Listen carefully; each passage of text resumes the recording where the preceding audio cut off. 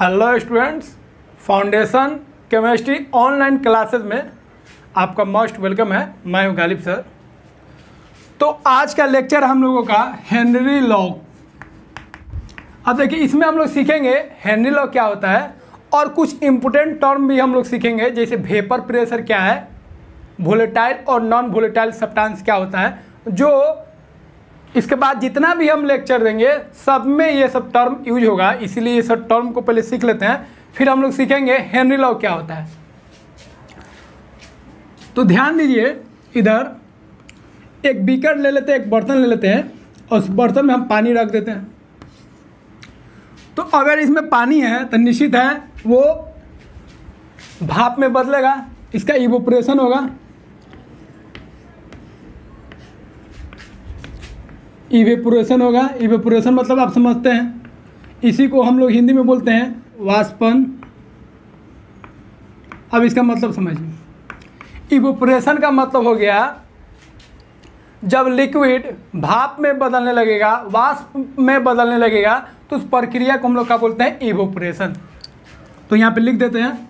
Evaporation का मतलब हो गया लिक्विड का मतलब द्रव का गैस में या भेपर में में बदलना।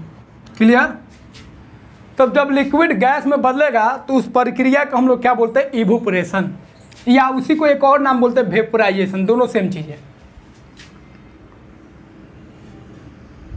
अब यहाँ पे ध्यान से देखिए, ये अगर खुला रहेगा तो ये लिक्विड जो है भेपर में, भाप में बदल के निकल जाएगा।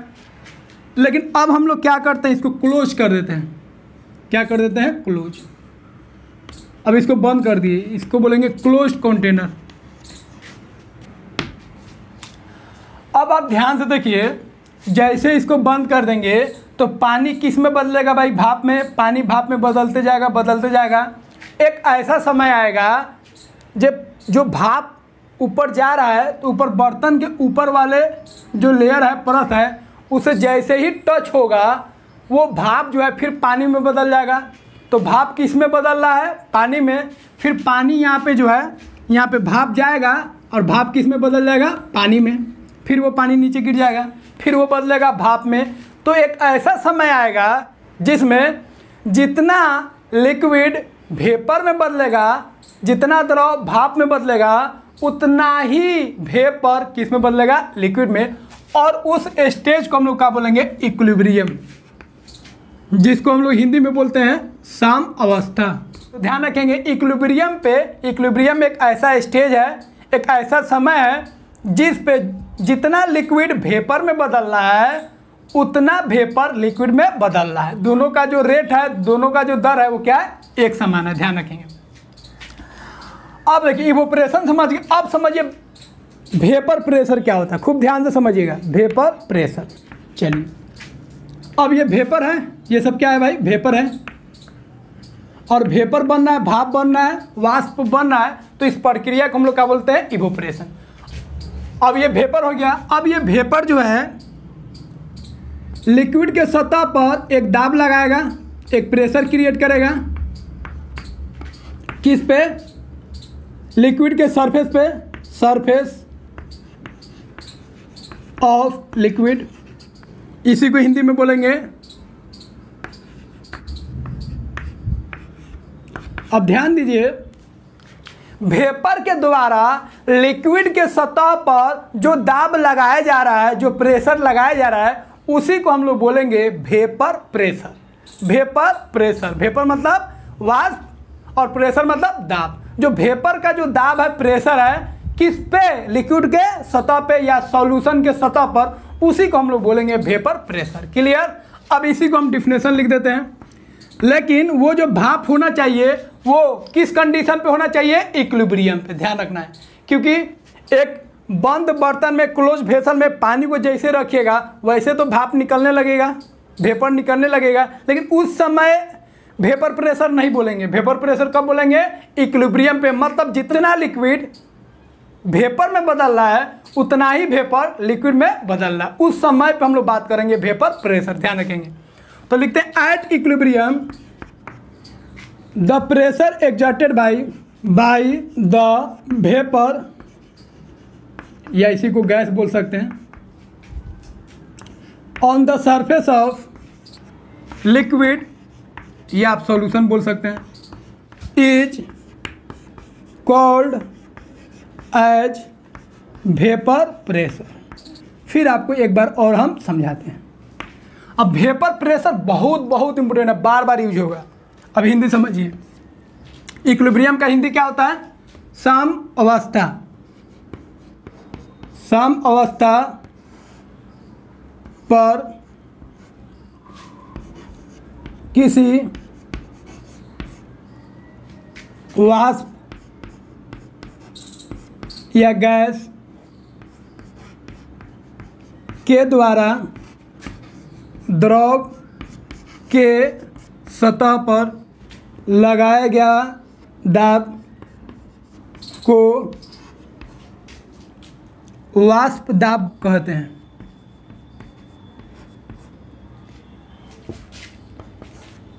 चलिए, हो गया। अब फिर से एक बार और समझ लीजिए। सिंपल मतलब समझिए वेपर प्रेशर प्रेशर मतलब दाब अब वेपर मतलब भाप, या उसको हिंदी में बोलिए वाष्प।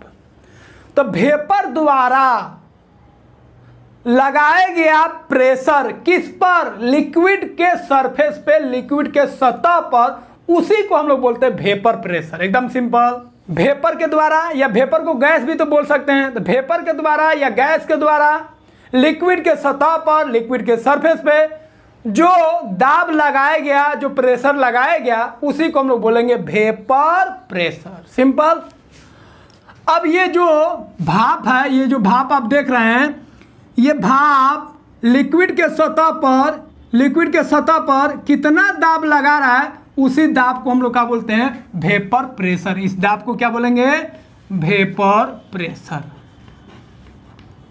तो आपको डिफिनेशन याद रखना है। और इसका कॉन्सेप्ट भी ध्यान रखना क्योंकि बार बार यूज़ होगा। तो इक्विलिब्रियम पे वेपर या गैस के द्वारा लिक्विड के सतह पर लिक्विड के सरफेस पे जो दाब लगाया गया, जो प्रेशर लगाया गया, उसी को हम लोग क्या बोलेंगे? भेपर प्रेशर लेकिन ध्यान रखना है, वो प्रेशर कब लगना चाहिए? इक्विलिब्रियम पे। अब इसको कॉपी कीजिए, फिर आगे हम लोग बढ़ते हैं।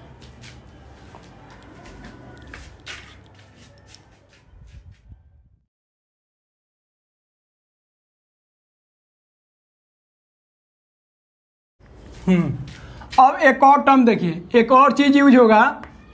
पार्शियल वेपर प्रेशर ये सब दिमाग खराब कर देता है। इसीलिए पहले ही आप सीख लीजिए ये सब क्या क्या है। पार्शियल वेपर प्रेशर या इसको आप ऐसे भी बोल सकते हैं सिंपल पार्शियल प्रेशर भी बोल सकते हैं। अब इसको लिख देते हैं, फिर आपको समझाते हैं। The individual pressure of each gas in a mixture या हम लोग सॉल्यूशन पढ़ रहे हैं तो solution is called its partial vapour pressure चलिए, इसका हिंदी लिख देते हैं, फिर आपको समझाते हैं। तो पार्शियल प्रेशर को बोलते हैं आंशिक वाष्प दाब। या इसी को आप बोल सकते हैं सिंपल आंशिक दाब। चलिए, इसका मतलब समझिए।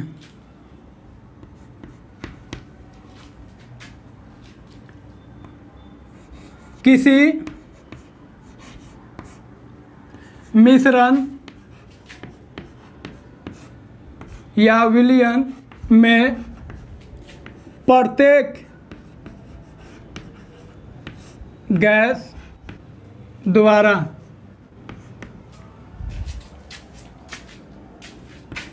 लगाया गया अपना दाब को उसका आंशिक दाब कहते हैं। हाँ।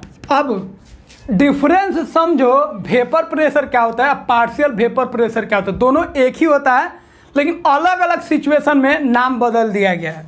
इधर देखो, अगर एक लिक्विड रहेगा, याद रखना है, क्या लिक्विड रहेगा? एक लिक्विड वन लिक्विड एक लिक्विड है, एक द्रव अगर रहेगा, खूब ध्यान से समझना है, रटना नहीं है, समझना है। और एक तू ले रहा है मिक्सचर या सॉल्यूशन ले रहा है। और सॉल्यूशन में एक से अधिक द्रव होगा। एक से अधिक मान लो। अधिक द्रव चलो, इसको नाम दे देते हैं ए आ, इसको नाम दे देते हैं ए और बी भी है इसमें। चलो। अब इसमें जो है भाई, मान लो लिक्विड ए है। पानी होगा, मान लो, कुछ भी होगा। और इसमें क्या है भाई, दो लिक्विड है। लिक्विड ए प्लस लिक्विड बोल बी दो लिक्विड है। अब देख, इसका जो भाप बना, इसको बंद कर दें। इसका जो भाप बना तो इसमें किसका भाप बनेगा? कौ लिक्विड एक गो एक लिक्विड है तो भाप कितना लिक्विड का बनेगा? एक लिक्विड का भाप बनेगा। और यहाँ पे कौ लिक्विड है, एक ए भी है और एक बी भी है। तो कितना लिक्विड का भाप बनेगा? दो लिक्विड का। एक लिक्विड का भाप हो गया और ये बी लिक्विड का भाप हो गया। तो ये भेपर किसका है? ए का। ये वेपर है किसका? ए का। और ये वेपर है? किसका? बी का।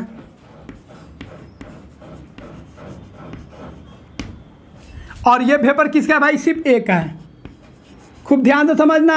वेपर ऑफ़ ए अब अकेला अगर रहेगा, कोई लिक्विड अकेला है तो उसके द्वारा जो प्रेशर लगाया गया लिक्विड के सतह पर, उसको हम लोग बोलेंगे सिंपल बोलेंगे वेपर प्रेशर क्या बोलेंगे? वेपर प्रेशर, क्योंकि अकेला है। लेकिन जब एक सॉल्यूशन में बहुत सारे लिक्विड हो तो उसका जो अपना अपना वेपर प्रेशर आया, अब इसका भी वेपर प्रेशर है, इसका भी वेपर प्रेशर है, अब ये किसका वेपर है भाई? ए का।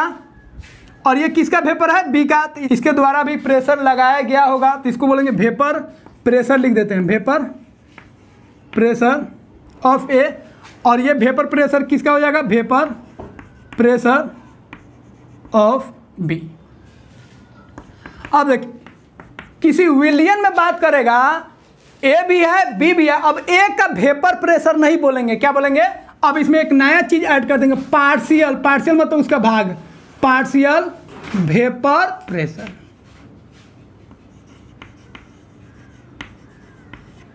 of A और इसको बोलेंगे partial vapour pressure of B इसका आप ध्यान रखिएगा। हाँ फिर से समझ लीजिए। अगर कोई लिक्विड ए या बी कोई लिक्विड अकेला रहेगा तो उसका जो वेपर का प्रेशर होगा, उसको हम लोग बोलेंगे वेपर प्रेशर लेकिन अगर कोई सॉल्यूशन में दो लिक्विड है या दो से अधिक लिक्विड है तो उसका जो वेपर प्रेशर है ना, उसका बोलेंगे हम लोग पार्शियल वेपर प्रेशर ए होगा तो बोलेंगे ए का जो वेपर प्रेशर होगा, उसको बोलेंगे partial vapour pressure of A B का जो वेपर प्रेशर होगा, उसको बोलेंगे partial vapour pressure of B अगर सी होगा तो बोलेंगे partial vapour pressure of C दोनों सेम ही होता है। लेकिन सिर्फ़ लिक्विड रहेगा, अकेला तो बोलेंगे वेपर प्रेशर जब लिक्विड सॉल्यूशन में रहेगा तो उसमें हम लोग वेपर प्रेशर नहीं बोलेंगे। उसमें हम लोग का बोलेंगे? पार्शियल वेपर प्रेशर हम्म एक चीज़ का और ध्यान रखिएगा। वेपर प्रेशर लिक्विड का जो वेपर प्रेशर होगा, उसको डिनोट करेंगे पी नोड से पी नोड ध्यान रखेंगे। वेपर प्रेशर को डिनोट करेंगे लिक्विड का वेपर प्रेशर को डिनोट करेंगे पी नोट से। अगर ए है तो लिख देंगे पी नोट ए और जो सॉल्यूशन होगा सॉल्यूशन में जो लिक्विड है, उसका जो वेपर प्रेशर होगा ए का डिनोट करेंगे पी ए और बी का होगा तो डिनोट करेंगे पी बी और सी का रहता पार्शियल वेपर प्रेशर तो पी सी तो पी एफ़ पी बी हो गया partial vapour pressure of A partial vapour pressure of B और पी नॉट ए का मतलब हो गया वेपर प्रेशर तो वेपर प्रेशर कब यूज़ करेगा? कब? अरे बोलना, जब लिक्विड अकेला रहेगा, तब। अब पार्शियल वेपर प्रेशर कब यूज़ करेगा? अरे बोलना जब सॉल्यूशन में दो या दो से अधिक लिक्विड रहेगा तब। तो। और वेपर प्रेशर को किसे डिनोट करेगा? पी नोट से। हम्म अब एक और टर्म यूज़ होगा, बहुत ज़्यादा, जिसको हम बोलेंगे volatile and non volatile substance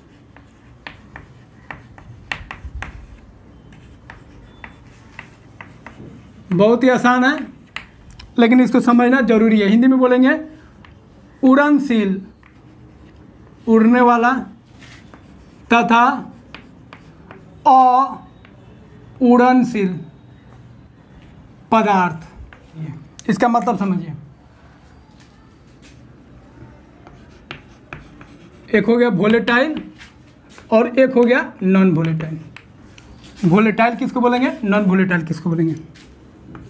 A substance which readily changes into vapor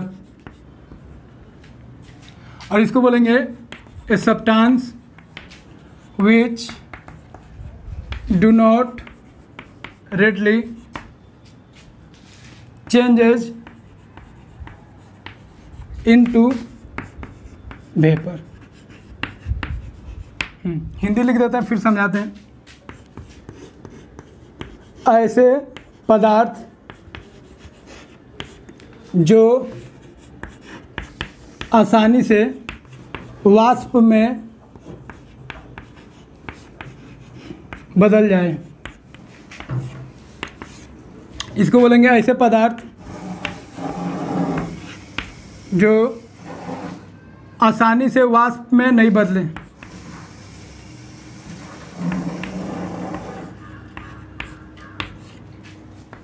अब इसका मतलब समझिए। ऐसे पदार्थ, ऐसे सब्सटेंस जो आसानी से वेपर में बदल जाए, उसको बोलेंगे वोलेटाइल सब्सटेंस हिंदी में बोलेंगे उड़नशील पदार्थ। अब आसानी से कौन भाई बदलेगा? सॉलिड थोड़े भाप में बदलेगा। कौन बदलेगा? लिक्विड बदलेगा। तो लिक्विड और लिक्विड में भाई जो भी लिक्विड दे दे water benzene acetone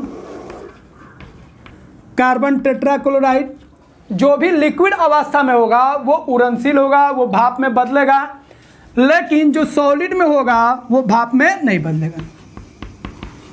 सॉलिड में जैसे आप जानते होंगे, sugar, glucose N S E तो सिंपल याद रखेंगे, लिक्विड में जो आएगा उड़नशील होगा, भाप में बदलेगा, लेकिन जो ठोस अवस्था में होगा, जो सॉलिड होगा, जैसे शुगर, ग्लूकोज एन ये सब ये सब भाप में नहीं बदलेगा, ये अउड़नशील होगा, इसका भाप नहीं बनता, चीनी का भाप थोड़े बनेगा, नहीं बनेगा। बनेगा लेकिन बहुत टेम्परेचर हाई करना पड़ेगा तो आसानी से नहीं बदलेगा। तो ऐसे पदार्थ जो आसानी से भाप में बदल जाए, उसको बोलेंगे वोलेटाइल सब्सटेंस ऐसे पदार्थ जो आसानी से भाप में, वाष्प में नहीं बदले, उसको हम लोग क्या बोलेंगे? नॉन वोलेटाइल सब्सटेंस इसका ध्यान रखेंगे।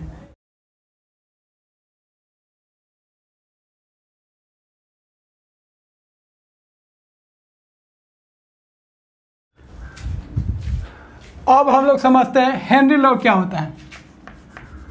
The partial pressure of the gas above the solution is directly proportional to the mole fraction of the gas the solution. एक और डिफिनेशन है, इसका उसको भी लिख देते हैं। The solubility of a gas in the liquid is directly proportional to the, proportional to the partial pressure of the gas above the solution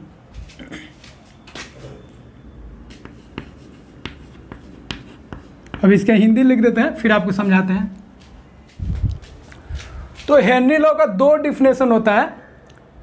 एक होता है पार्शियल प्रेशर के टर्म में, एक होता है मोल फ्रैक्शन के टर्म में, और एक होता है सॉल्युबिलिटी के टर्म में। तो दोनों को ध्यान से समझते हैं, पहले फ़र्स्ट वाला समझते हैं। तो एक हम लोग क्या करते हैं सॉल्यूशन बनाते हैं। किसका? गैस और लिक्विड का। तो ये हो गया लिक्विड। और इसमें गैस जो है डिजोल्व है। और कुछ गैस ऊपर है। यहाँ पे क्या है? गैस। तो कुछ गैस ऊपर है और कुछ गैस नीचे है। ध्यान से। कुछ गैस घुला हुआ होगा और कुछ गैस उसको ऊपर होगा। अब यहाँ पे हेनरी लॉ बोलता है the partial pressure of the gas above the solution solution के ऊपर, ये तो सॉल्यूशन हो गया। गैस प्लस लिक्विड बनेगा तो क्या बन गया भाई? ये सॉल्यूशन हो गया। अब बोलता है सॉल्यूशन के ऊपर जो गैस है, उसका पार्शियल प्रेशर तो partial pressure of gas gas का पार्शियल प्रेशर कौन वाला गैस? सॉल्यूशन वाला गैस कि सॉल्यूशन के ऊपर वाला गैस? तो देखिए यहाँ पे लिखा है एभव द सॉल्यूशन सॉल्यूशन के ऊपर वाला गैस।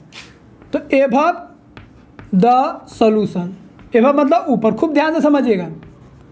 तो सॉल्यूशन का ऊपर वाला जो गैस है, उसका partial pressure is directly proportional to the mole fraction of the gas in the solution solution के ऊपर जो गैस है, उसका पार्शियल प्रेशर सॉल्यूशन में जो गैस है, उसके मोल फ्रैक्शन के डायरेक्टली प्रोपोर्शनल है.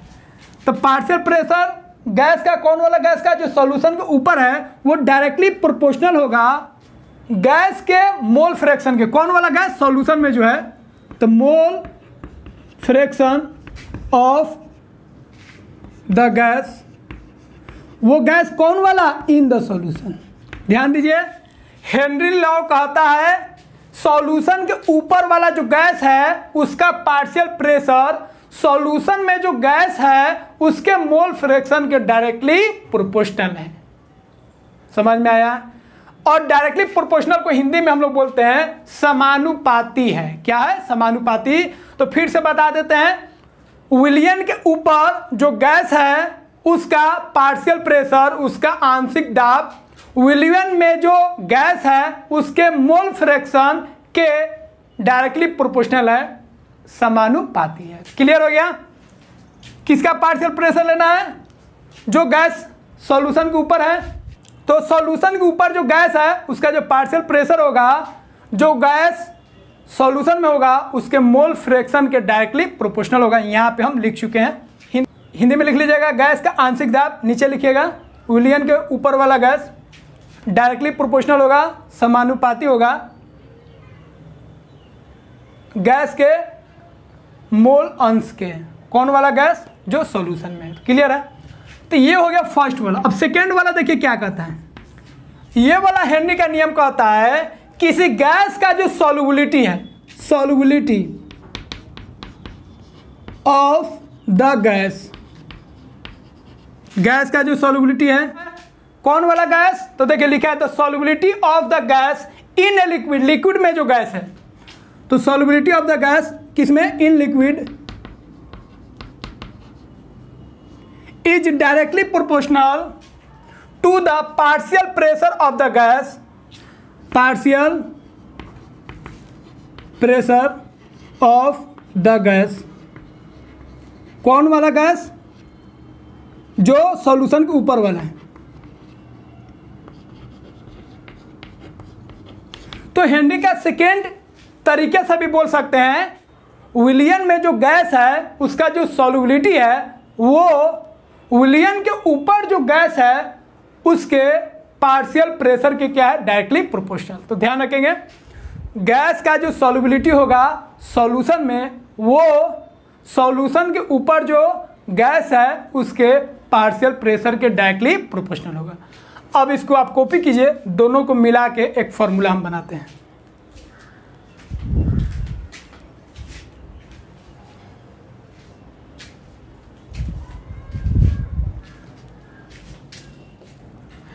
अब दोनों का अगर मिलाते हैं तो क्या होगा भाई? सॉल्युबिलिटी जो होगा डायरेक्टली प्रोपोर्शनल होगा किसके? पार्शियल प्रेशर के। और पार्शियल प्रेशर जो होगा डायरेक्टली प्रोपोर्शनल होगा किसके? मोल फ्रैक्शन के। तो हेनरी का दो तरीके से बोल सकते हैं? गैस का जो सॉल्युबिलिटी है, जो ऊपर वाला गैस है, उसके पार्शियल प्रेशर के डायरेक्टली प्रोपोर्शनल है। या आप बोल सकते हैं, विलियन के ऊपर वाला जो गैस है, उसका पार्शियल प्रेशर सॉल्यूशन में जो गैस है, उसके मोल फ्रैक्शन के डायरेक्टली प्रोपोर्शनल है। तो ये तीनों तरीके से लिख सकते हैं। सॉल्युबिलिटी ऑफ़ गैस गैस का सॉल्युबिलिटी कौन वाला? सॉल्यूशन वाला। In solution. Partial pressure of the gas, कौन वाला गैस? एव ऑफ़ द सॉल्यूशन। सॉल्यूशन के ऊपर वाला। और मोल फ्रैक्शन कौन, किस गैस का मोल फ्रैक्शन लिखना है? जो सॉल्यूशन में है।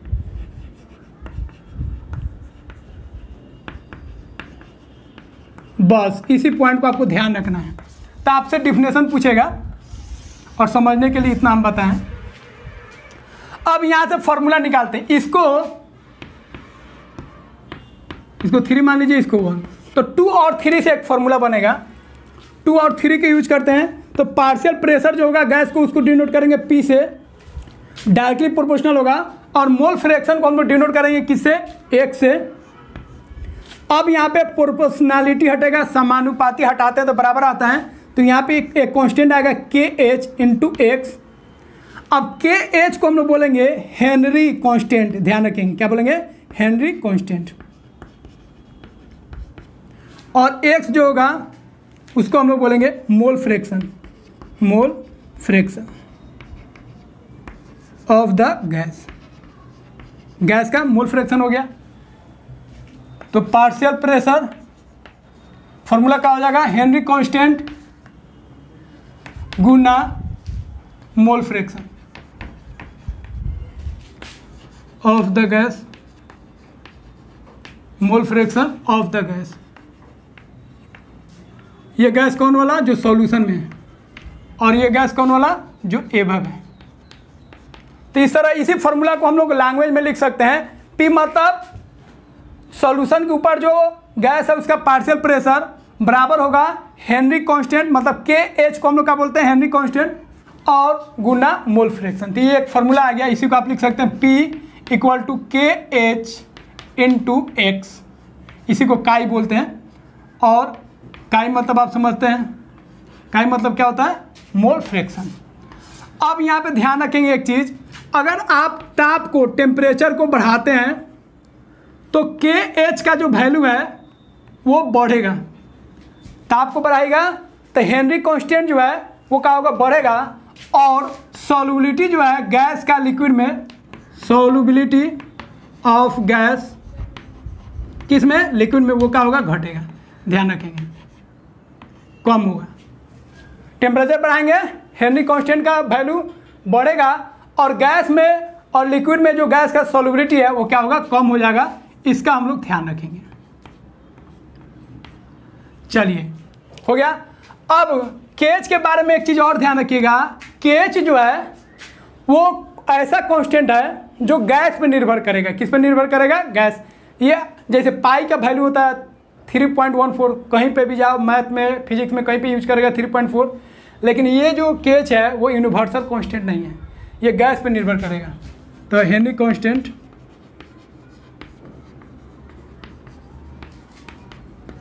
का मान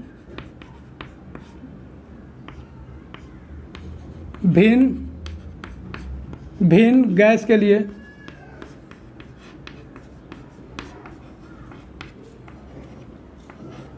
अलग अलग होगा। अलग होगा। ध्यान रखेंगे। तो ऑब्जेक्टिव में अगर दे दे, आपको अगले लेक्चर में कराएँगे। केच, अगर किसी गैस का ज़्यादा है तो उसका सॉल्युबिलिटी जो होगा, क्या होगा? कम होगा, इसका ध्यान रखेंगे। टेम्परेचर बढ़ाएँगे केच का वैल्यू बढ़ेगा, लेकिन गैस का जो सॉल्युबिलिटी है लिक्विड में, वो क्या होगा? घटेगा। अब इसको कॉपी कीजिए। लास्ट चीज़ आपको बताते हैं।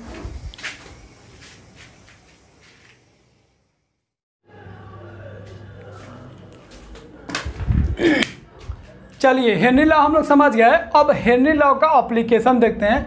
हेनरी लॉ का अनुप्रयोग कैसे करते हैं? तो हम लोग जो सॉफ्ट ड्रिंक पीते हैं कोल्ड ड्रिंक जो पीते हैं हम लोग, या सोडा वाटर जो होता है कोको कोला पेप्सी ये जो कंपनी होता है, उसमें सी ओ टू डिजॉल्व होता है और सी ओ टू को और अधिक डिजॉल्व होने के लिए उसको हम लोग हाई प्रेशर पे सील करते हैं। वो बोतल में जब पैक करते हैं सी ओ टू को तो उसके लिए प्रेशर को अधिक रखते हैं, क्योंकि प्रेशर अधिक रहेगा तो उस सॉफ्ट ड्रिंक में जो सी ओ टू होगा, वो ज़्यादा डिजॉल्व होगा। और आप देखे होंगे जब हम कोल्ड ड्रिंक को लाते हैं और उसको फ्रिज में नहीं रखते हैं, बाहर छोड़ देते हैं तो कुछ देर बाद उसका टेस्ट ही ख़त्म हो जाता है, क्योंकि उसमें से सी जो गैस है वो निकल जाता है। इसलिए उसको टेम्परेचर और प्रेशर मेंटेन रखेंगे, तभी सी ओ डिजल्व होगा। और सी ओ जब डिजल्व होगा तो टेस्ट अच्छा मिलेगा, निकल जाएगा तो फिर आपको टेस्ट नहीं मिलेगा। चीनी पानी ऐसा लगता है, अगर सी ओ निकल जाता है तो। दूसरा, आप देखे होंगे, कोई भी क्लाइंबर जो पहाड़ पर चढ़ता है, पहाड़ पर चढ़ते हैं, जो भी लोग वो एक सिलेंडर टैंक ले जाते हैं, क्योंकि जितना ऊंचाई पे आप जाइएगा, ज़्यादा ऊंचाई पे अगर आप जाते हैं तो वहाँ पे प्रेशर जो होता है कम हो जाता है। प्रेशर के कम होने के कारण ऑक्सीजन जो ब्लड में घुला रहता है, उसमें कमी आ जाता है। अब कम ऑक्सीजन ब्लड में घुलेगा और ऑक्सीजन जैसे ही ब्लड में कम घुलेगा तो होगा क्या? उस समय आपका बॉडी का फ़ंक्शन गड़बड़ होने लगेगा, आपका दिमाग सही से काम नहीं करेगा, आपको सांस लेने में दिक्कत होगा और नाक से या बॉडी का और पार्ट से ब्लीडिंग होने लगेगा ब्लड निकलने लगता है।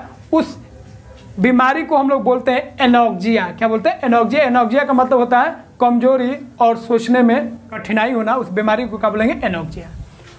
तो इसको आप कॉपी कीजिए। आज का लेक्चर हो गया। फिर हम लोग अगले लेक्चर में मिलेंगे।